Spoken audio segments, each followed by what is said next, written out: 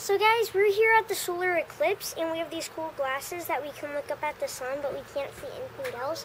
And the sun is at, it's like orange and you can see a little bit of the moon. We just saw a little bit of the moon a little, a little bit ago. It was covering some of the sun up. And now clouds are blocking the clouds so we, clouds are blocking the sun so we can't see it. We can't see the sun right now. The one with the pool. Solar eclipse is really cool. Too bad the clouds are covering it. Hopefully we get a break.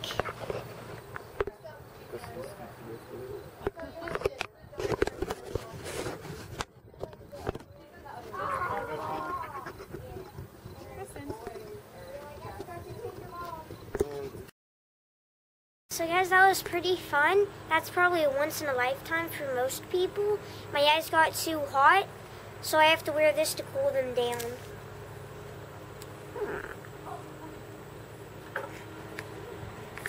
This is about to end this video. Hope you did enjoy. Please like, please subscribe, and also please comment. And guys, I will see you all in the next video.